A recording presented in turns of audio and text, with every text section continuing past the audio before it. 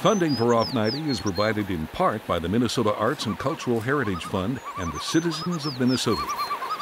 Cruising your way on this episode of Off 90.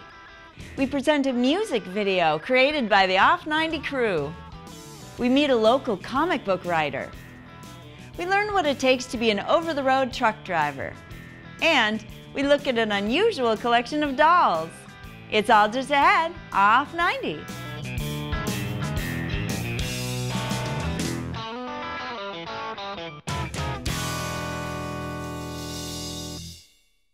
Hi, I'm Barbara Keith. Thanks for joining me on this episode of Off 90.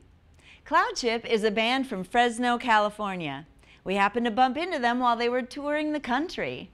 We liked their music and offered to make a music video for them. To our delight, they accepted our offer. Here's our music video for Cloudship's song, My Old Friend.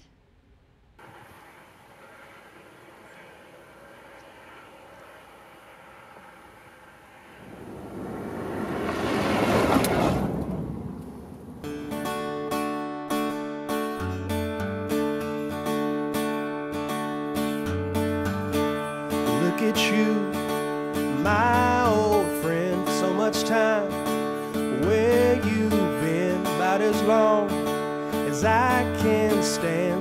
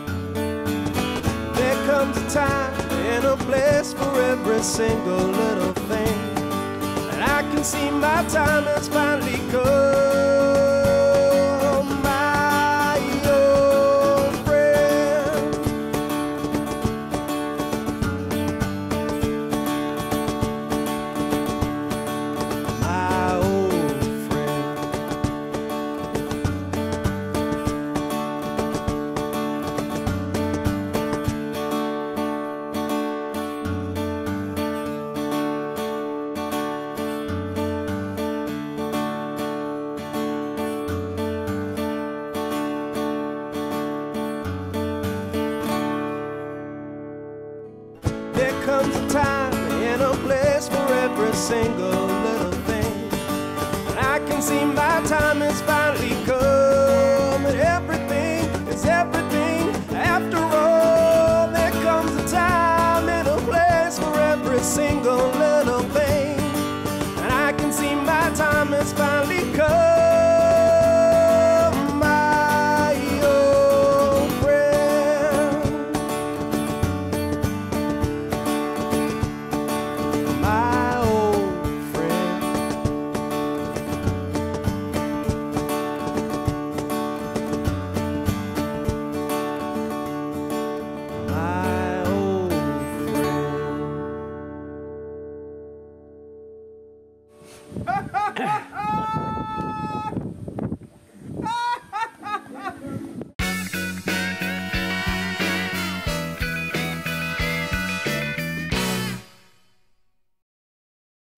Comic books have come a long way since they were introduced in the 1930s.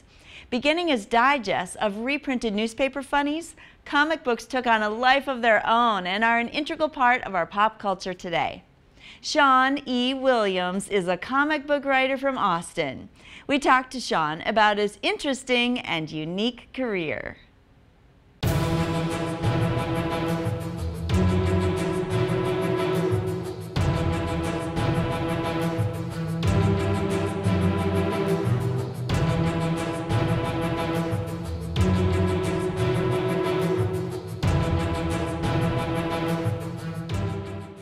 I'm Shawnee Williams, and I'm a writer publisher. Comic books for me are like the perfect storytelling medium. because it's that perfect combination of visuals plus dialogue plus sound effects that you can't really get anywhere else. With comics, you have to write each page as its own page, whereas in film and television, you have 120 pages for a movie or 50 pages for an hour long you know, pilot script. And you have wiggle room around that to, you know, for where act breaks are or where, um, how the story goes. Whereas with comics, with each page, there's a certain amount of information that you can convey. Um, there's only so many panels that you can cram into each page, and there's only so many word balloons you can put into each panel, and there's only so many words that you can put into each word balloon. And so that puzzle element is something that you have to really get used to and adjust for, and it's something I really enjoy. The favorite thing for me about writing comics is the collaboration because for me, I like being able to have an idea in my head, get it down on paper, and then send it to someone, and then they create their interpretation of that.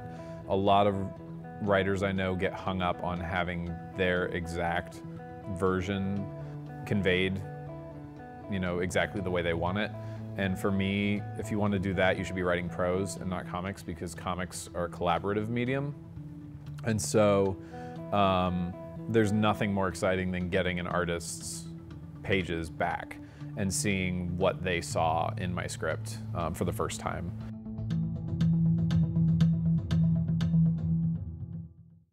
The first paying comics gig I got was writing uh, the third arc of Fairest, which was a spinoff of Fables. While that was going on, I started my own creator-owned series, Artful Daggers, which I co-created with Adam P. Knave and Andrew Losk, and that's put out through IDW and Monkey Brain Comics. It's digital first through Monkey Brain Comics, and then IDW uh, publishes the trade paperbacks. Those are the cornerstone of my comics career. From there, I wrote a couple issues of The Vampire Diaries for DC Comics, as well as a story in the In the Dark anthology, which is a horror anthology that was a Kickstarter project. I also wrote an issue of uh, Sensation Comics featuring Wonder Woman,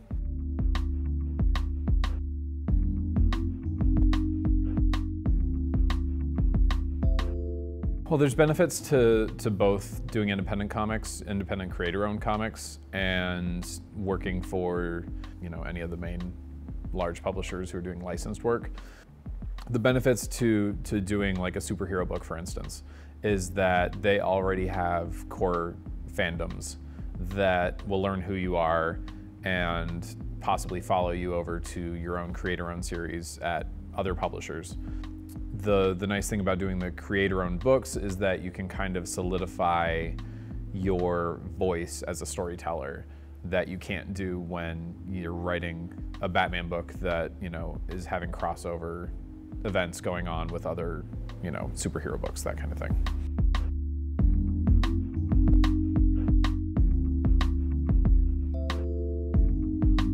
Comiker is a comics publishing company Right now, we are uh, digital first because the cost of publishing digitally is nominal um, compared to print. The, the, the turnaround time on digital is a lot lower as well compared to print. So right now we are publishing comics as web comics, collected as digital issues through Comixology and Drive-Thru Comics, uh, which are two different um, distribution methods for digital comics. We're also launching our own app that's going to have all the series optimized for mobile reading on your phone or tablet. I think interest in comics is definitely growing. Um, and again, a big part of that is the fact that anyone can read comics now on their tablet. And so digital is allowing people to read comics who weren't able to read them before. So I think the, the audience is definitely growing in that sense. And I can't see it slowing down anytime in the near future. You know, it's, it's been really encouraging. Just the fact that you know something I wrote might be somebody's favorite version of a certain character or you know their favorite story from a certain series. You know, it's kind of mind blowing that anyone even reads stuff that I write, um, and the fact that it might be somebody's favorite is just totally humbling.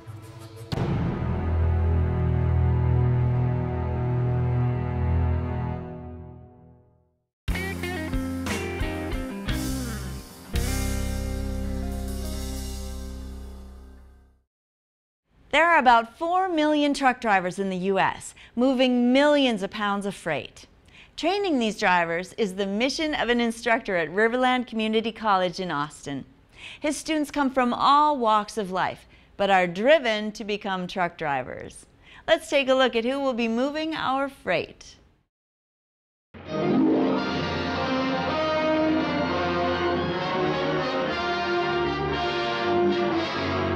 Try to head him off. Watch out he don't cut into us. Pull over closer. I think that Hollywood has sort of sensationalized the uh, trucking profession. Truck drivers were seen as the white knights on the road. And now I think, unfortunately, people have a tendency to look down at us. Kidding, you couldn't even pay for the headlights. Anything else? My name is Jonathan Rymer, and I run the truck driver training program here at Riverland Community College in Austin, Minnesota. You figure that there's probably 4 million uh, truck drivers in the United States. The days of someone having a warehouse full of product is pretty much gone by the wayside, and instead, what they expect is they want to place an order for that product and they want that product to be brought immediately. And so that's where a quality transportation uh, firm comes into play and a quality driver that's able to move those products from point A to point B. Make sure on our wheels that everything's well lubricated and that down here The goal of the program is a little different than you know most truck driving schools. Most truck driving schools train someone to get a CDL license. A, a CDL is a commercial driver's license. The license is merely something that we're going to do on one of the days of our 12 weeks together. And what we're going to do is we're going to train someone how to be successful in the transportation industry. And that can include a variety of different types of equipment, and it can also include, you know, advancing into positions that don't necessarily include even driving the truck. I'm just checking for uh, proper connection with the fifth wheel and the kingpin, making sure that the jaws are locked around. A quality driver is an individual who is a professional. It's an individual who is attuned to safety and is also educated and knowledgeable about all the different aspects of what it really means to be a professional driver. Trucking is probably one of the most highly regulated endeavors on planet Earth. There's over 800 different violations that a driver could be cited for by a DOT inspector. And so we try to teach our students what those violations are and how they can, you know, not partake in any of that. I'm Daniel Vogelgesang, a truck driving student at Riverland Community College. When I first came out of high school, 1985, I became an auto mechanic because I'm very me mechanical. So I uh, always had an interest in trucks, cars, automobiles in general.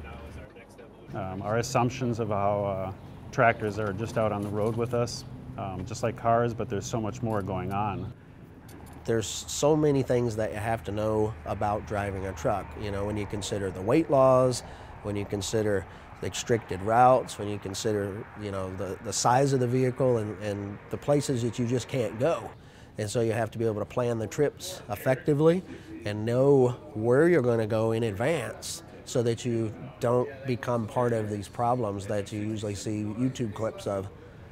And so what we try to do with our program is we try to present a professional image where an individual would know better than to make these kinds of mistakes. Unprofessional drivers, like you know the kind that uh, are going 70 miles an hour on ice when the cars are doing 45, they're taking huge risks. Learning how to understand how to back a vehicle that large, which I think a lot of people are uh, very apprehensive and fearful of. And even as students, we come into it kind of like, Oh, she didn't lock the trailer oh my gosh, I can't parallel park that thing, there's no way. And step by step, it all starts to fall together. that's perfect. I would say the hardest thing is probably going to be the lifestyle of trucking because it's not a job. A lot of people that are new to the industry, they're used to working a 40 hour work week where they go home on the weekend and they're home every night. Those kind of jobs are available in the trucking industry, but it's going to be difficult to get those. As a uh, liquid tanker driver for many years, I would say that um, the average motorist really should understand that when you see a, a liquid tanker, which would be cylindrical in shape, that every time the driver puts on the brakes, the liquid all goes to the front. And then every time he accelerates, the liquid goes to the back. So what happens is there's a tug of war taking place inside that trailer. And the rule is we make no sudden moves. The average motorist, if, if they really knew what they were looking at when they see one of these going by, they would probably give us the room that we would like to have. So in a tractor trailer the size of the one behind us, 75 feet, we need four lanes to make a right turn. Coming into truck driving at 49 um, was a clear choice that I wanted. Again, it, there were a lot of surprises to me, but it's not fear at all because Jonathan's a very confident instructor. He talks about it right from the beginning, never uh, pulls any punches. This is the reality of being on the road, the shortcomings of uh, living out of a sleeper, maybe, giving up a little bit of family time. Please leave your logs for me so I can check those this weekend. I, I get people with bachelor's degrees, and I get people that, that just got a GED. Uh, and I have people that don't have a GED or a high school diploma. So to try to get all of those people with all those different types of backgrounds in the same room, you have to be able to recognize different types of learning styles and realize different ways of trying to teach people. It's a privilege to learn something that's very professional, much more than I would have ever thought. I've always been a lifelong learner, and uh, this is a lot to learn. Never underestimate truck driving anymore. Uh, it's not a toy, it's not a game. Being a high energy person and very cerebral, big, I think a lot and I like to wrap my head around the bigger picture all the time, and that's a big picture. Um, slowing that down, relaxing, and going through the steps because you don't get in and shift fast and you're not in a race, even though you might perceive it that way when you hear it. It's fundamentally step by step. Slow it down. When you look at the, the, the types of technology that we have on the equipment today, and you look at you know some of the great drivers that are out there that are racking up millions of accident-free miles, these people are true professionals. One of the things that I still enjoy most about being on the road, because when I'm not teaching, I do run over the road myself, and I go all over North America, all over Canada, all out to the West Coast. And the thing that I like about it the most is, you know, you've got time to think, and your view out your windshield is continually changing. Once you get in the in the western states, the, the stress level is very low, very low, because you know you might drive for several miles and not have any traffic around you. Unfortunately, most people who work a regular 40-hour work week and a nine to five kind of job, they never get to see all of these beautiful things that you know your average over-the-road driver gets to see all the time. I can't believe that people are willing to stay in their hometown in their little area and they, they're not willing to branch out to other parts of the country and go see some of these things.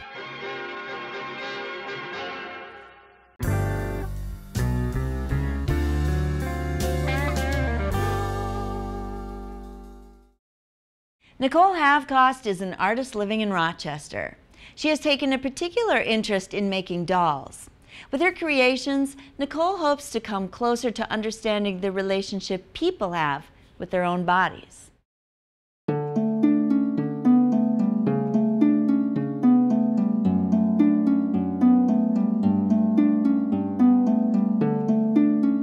The dolls that I've been making are really representations of me or almost self-portraits.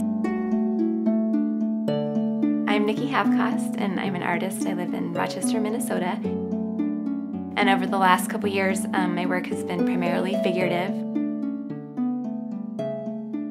I've made figures for probably 20 years. Started in graduate school. Um, prior to that, I had always made um, exteriors of clothing. So I made these dresses that sort of stood up like dolls, um, but didn't have heads and didn't have arms and limbs, and but they had personalities. And at some point in grad school, um, it just was time to start dealing with the body to like figure out what it needed to look like.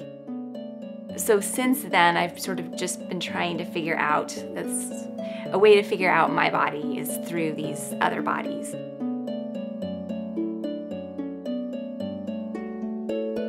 Many years, I've wanted to make dolls that had found objects included in them, and I didn't know how to do it because most of my dolls were cloth. And a friend showed me this material called paper clay, and it just worked perfectly to cover portions of the found objects and make them look seamless as a part of the whole limb or the whole body.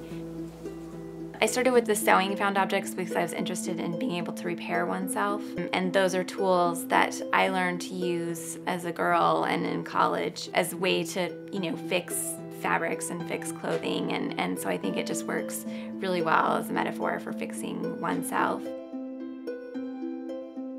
My dolls, they're all attached by hook and eye, so I like that they are communal. They can be shared between dolls, so if you don't have the right tool to fix whatever's necessary, you can switch out whatever you have for something else.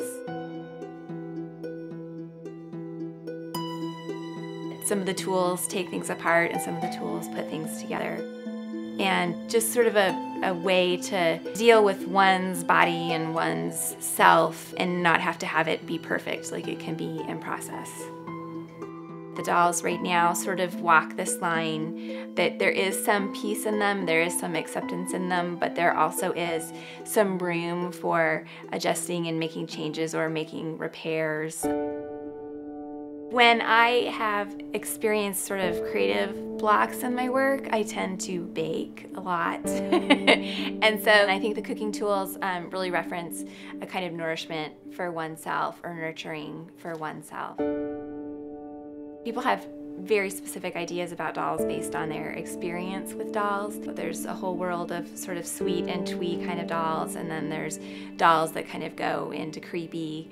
And I think with my dolls, they start to take on this kind of creepy or difficult um, connotation. And I think that for me personally, dolls are really about my own mortality. And I find that when people have a really strong reaction to a doll or to a piece of work, it's because they're experiencing something they're not ready to experience. And I think it's easier to just write it off, you know, if the doll is creepy or if it's weird to just say it's this other because they don't want to go further into that experience. With my work, especially showing dolls the last time at the Rochester Art Center, I often had people come up to me and say, oh, this one reminds me of this thing I had. You know, I've been at Mayo all year because I, you know, I have something wrong with my digestion or I have something wrong with this or that and I'm getting poked and prodded and this one really feels like how it feels to be me right now. And I love that everybody can bring their own personal experience. I have my idea of what the doll meant to me when I made it. Um, but then everybody has their own personal experience that they can lay on top of it so that it becomes them as well. So I like that dolls have this sort of universal quality in that they are us and it's whatever part of us we bring to them. So for Nikki's exhibition, it was basically two types of work, all living kind of in the same universe, but it was all doll-based work. She did dolls that were kind of fictional animal characters. It was like this fantasy kind of playful thing. And then the other work kind of hit me a little deeper. It's like a little more serious. That was the work that kind of um, pertained to Nikki's interest in body image and spoke to her being a woman artist. And I think um, it was kind of a strange mix of both of those ideas, but at the same time, you could kind of see Nikki in all of that work, and I think that was really exciting. And then there's also an element of the exhibition that was parts of these dolls, which takes you to a whole different place. That's where people could maybe get a little bit, um, come away with a little bit more grotesque kind of ideas of what they're looking at. But you know, because for example, you're looking at this this doll and it's you know it's put together, it's composed, it's whole. That's one thing. But then you look on the wall and then all of a sudden you see disembodied parts of a doll. And the fact that Nikki's a woman making work about women's bodies kind of being taken apart um, you know, there's some deeper issues there that she's kind of thinking about and working with, and sometimes that kind of um, gets people a little uncomfortable, and that's okay.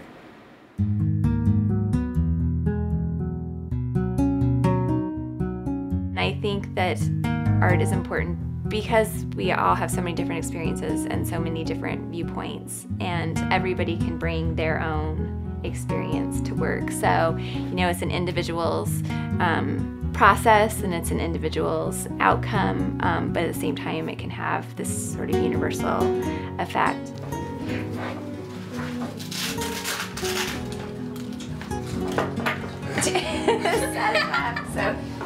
I think personally for me, I'm the better version of myself when I'm making work, and I just need to be making. It doesn't matter whether it's good or or bad. Um, that it that it nourishes me in a way that makes me easier to be around and better for other people. I just love that Minnesota makes it a priority to make the arts available um, to both people that want to see it and to make um, funds available to artists so that they can have the means to do the work they want to do.